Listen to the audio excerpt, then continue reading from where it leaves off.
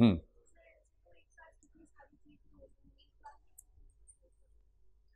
हम एक बार में एक चीज़ सोच सकते हैं, क्योंकि हमारे सोचने की ताकत बहुत सीमित है। वो तो ईश्वर है। हम तो पाइपलाइन प्रोसेसिंग में सोचते हैं ना। ईश्वर पैरेलल प्रोसेसिंग में सोचता है। पैरेलली कई प्रोसेसिंग चलती रहती है उसके दिमाग में। इसीलिए वो ईश्वर है। और हम ईश्वर नहीं है। इसीलिए वो चॉकलेट नहीं खाता है। हम खाते हैं। ना बहुत अंतर है उसमें और हमें भाई। उसकी क्षमताएँ बहुत अलग हैं। कुछ लोग कहते हैं कि ईश्वर नहीं है क्योंकि दिखता नहीं है। तो उनके जवाब में एक शायर ने बड़ी अच्छी बात कही। क्या कहा उसने? हाँ सलीका ही नहीं, शायद उन्हें महसूस करने का। जो कहते हैं खुदा है तो नज़र आना ज़रूरी है। पर जो ईश्वर को मानते हैं ना, उनके पास पर्याप्त तरीके हैं मानने के। उनको दिक्कत नहीं है इस बात से कि हम मानते कि नहीं मानते तो ईश्वर है तो अच्छा ईश्वर है, नहीं है, इस पर एक प्रसंग ये भी है, सोच के देखिए बात सही है या नहीं है। सही है या नहीं तो किसी को पता नहीं मतलब हो सकती है या नहीं, ये सोचना है।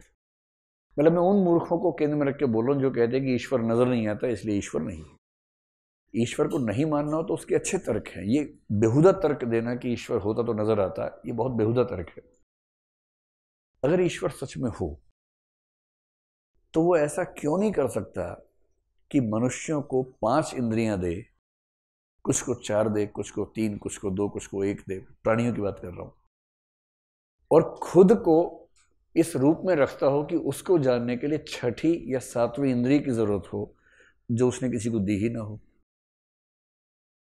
यूँ समझें कि आपने एक खिलौना बनाया, एक रोबोट बनाया। और आप चाहते कि रोबोट आपको देख ना सके।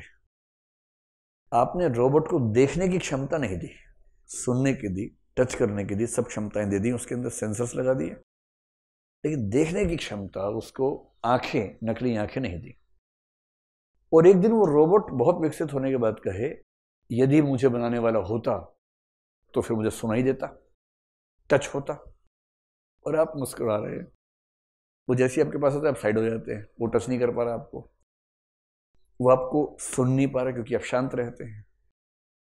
वो आपको केवल देख सकता है और आपने उसको देखने की क्षमता दे ही नहीं जानबूझ के, ताकि वो ना देख सके।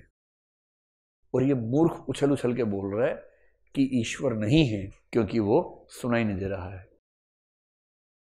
ठीक वैसे हो सकता है कि पाँच इंद्रियाँ ईश्वर को जानने के लिए अपर्याप्त हो। छठी इंद्री की ज़रूरत हो।